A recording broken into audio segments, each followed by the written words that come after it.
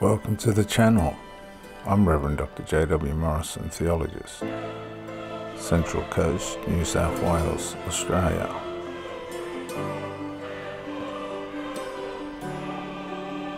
Life. We come in so many different forms and colours.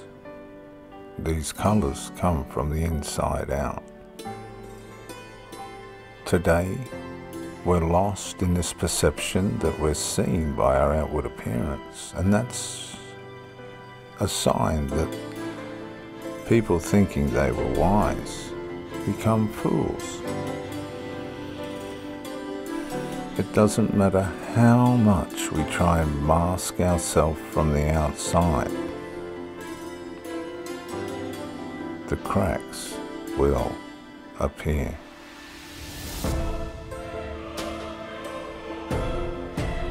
Who we are comes from the inside out. And only people that are in sin or lost in desire perceive people by how they look. This is where we run into trouble because we can't mesh with people who we are characteristically opposed to. And it's not until we spend time with somebody that we realize what their values are and if they'll work for us.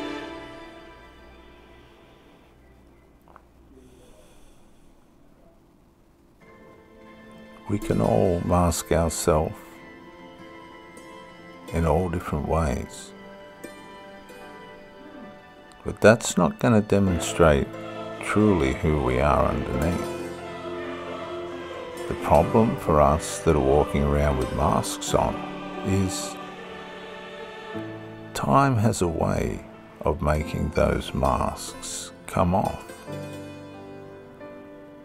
And what masks do, they keep us immature. We're trying to show a representation of ourselves that's not real, in a way. We're proving that we're insecure and desperate desperate to have possibly the attention that we didn't get when we were young, or the over attention that we got when we were young. And we starve to be recognized. Recognition has many different aspects and applications of it. But recognition, most of all, and it's most powerful when we're honest with ourselves because the greatest recognition, viewers, is a true recognition of who we are ourselves by ourselves. We can get advice and be mentored and told things about ourselves, but at the end of the day, it's going to come down to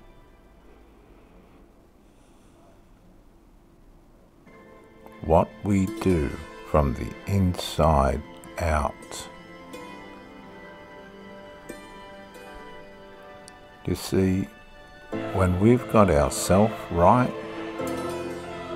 and you'll see this all the time, when people have got themselves right, like truly right, they're in line with themselves, they're walking in health and their mental health is stable, they're right. They've put time into themselves to understand what might be causing their anxiety and depression, and they've taken action to truly resolve those issues. They haven't taken shortcuts. You'll notice that the life around those people reflects who they are on the inside. There's no skeletons in the closet. You see, a skeleton with makeup on it, a skull that's been dressed with makeup, just doesn't look right. And when you think about it, all people are doing is masking their true physical appearance to make themselves appear better. And it works. Oh, yeah, it works when you get it right. But that just doesn't change what's going on underneath. The bigger picture is what's happening in underneath the exterior. And when we come to terms with that, that's when we begin to grow. When we think of the mind of Christ, as Christians, and many of you have Christian pedigree, and you need to turn back to it to help yourself. If we look at what Paul in Philippians chapter 2 said, he said in verse 5, You must have the same attitude that Christ Jesus had. Though he was God, he did not think of equality with God as something to cling to. Instead, he gave up his divine privileges. He took the humble position of a slave and was born as a human being. And when he appeared in human form, he humbled himself in obedience to God and died a criminal's death on the cross. You see, humility is something that helps us to grow, whereas pride is something that helps us to fall, to become crooked and perverse. Sometimes we think that we shine brighter than what we really are, and that's what happened to Lucifer when he fell, God just could not take the pride that was developing inside him, so he sent him out. Everything about us works from the inside out. If we want to have salvation for ourselves, just in a personal way, outside of that given to us through the cross of Christ,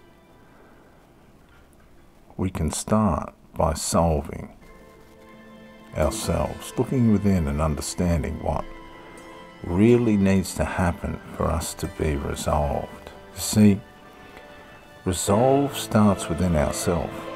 A lot of the reason why we can't resolve things, a lot of the reason why we don't confront things, is simply because we won't confront ourselves. we're afraid of ourselves. We're afraid of what we might see. You see, a lot of our complaining and arguing and criticism is within ourself against ourself. It's that voice that pours over us like a liquid, telling us, You're no good, you're not worthy, you can't fix that, you can't have this. Here, take this.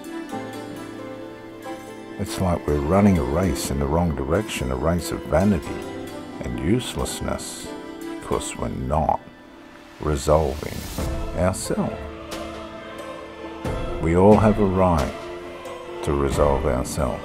And just like Jesus didn't think equality of God with God to be anything to cling to because he had his own identity. He knew who he was. And it didn't bother him to humble himself to becoming somebody that was going to be beaten and battered and ripped at and kicked at and spat at to die on the cross for everybody else, to undo what the devil did to humankind in the garden.